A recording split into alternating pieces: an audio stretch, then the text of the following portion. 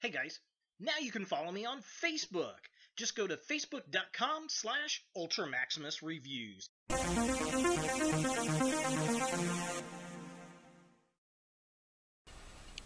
Hello YouTube, Ultramaximus back with another toy haul, and today I've got some really cool stuff. So I was out and about as usual running errands. I stopped over by Walmart and lo and behold, finally the G1 reissue Soundwave has hit the Indianapolis market.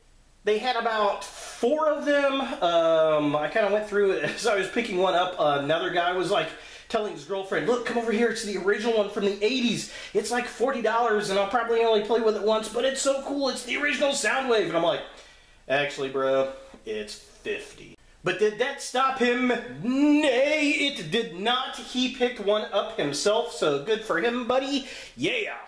This was probably one of my favorite Transformers as a kid, along with Optimus Prime, my two favorite Transformers uh, from G1. And uh, when I was a kid, I accidentally snapped off Soundwave's head. So 35 years later, I've finally gotten a replacement Soundwave, and I am stoked. Plus, this will be the first time I have all the cassettes. Well, except for Ratbat, and I'll definitely have to be getting him. And then I found these figures totally surprised. It's the WWE Elite Collection Ghostbusters uh, for the 35th anniversary of the Ghostbusters. I got all four of the Ghostbusters. They did not have The Undertaker, who is the ghost of the series. And that's okay. I don't really mind. I may pick him up if I do find him. But I really wanted the main Ghostbusters because I thought they looked very, very interesting. And, well, I'm going to take a look at them for this year's 31 Horror Toys in 31 Days.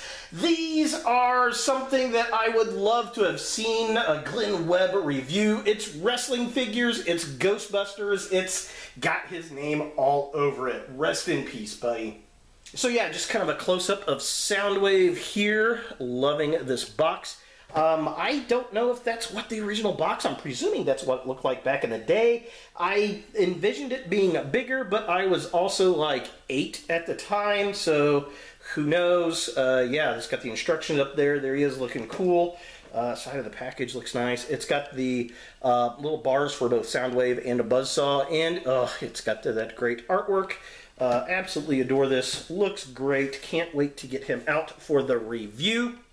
And again, apologies for the delay on the reviews. I know I've just been doing uh, toy hauls and flea market finds lately, but I've been working on 31 horror toys, and well, it's taking a lot of time uh, to get it ready for the event. So um, as soon as I get that done, you'll see more uh, regular reviews coming soon. And kind of fill the stock gap, I've been showing a lot of the stop motions, so thank you guys uh, for checking those out as well.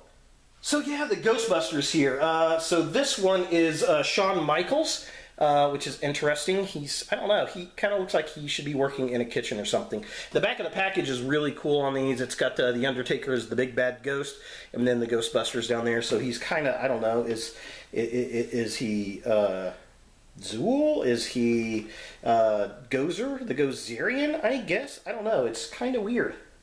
But it's pretty cool. I'm not a big uh, Shawn Michaels fan. I don't even know if I've ever seen him wrestle, actually. And then up here we got Stone Cold Steve Austin, and he actually has a cloth jumpsuit, which is very neat, very cool. I am digging that. I think that looks really nice. Um, and then we got John Cena. Um, he does not have a jacket on, just the black shirt. Uh, but again, cloth, which is very cool. And then one I really liked, it's The Rock. Can you smell? Who you gonna call? I, I don't know.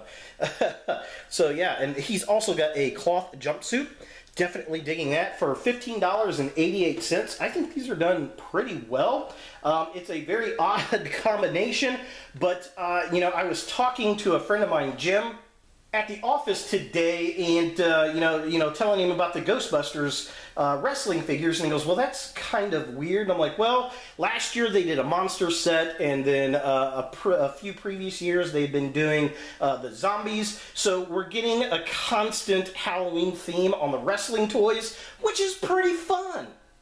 This being the 35th anniversary of Ghostbusters I think this is spot on so there it is, my toy haul for this week. Uh, look for a review on Soundwave coming at some point soon, and of course, look for reviews on these Ghostbusters, this 31 horror toys in 31 days, coming in October. Hey guys, thanks for watching. If you like this video, thumbs it up. If you hate this video, thumbs it down. To watch more Ultra Maximus, click on the links to the right.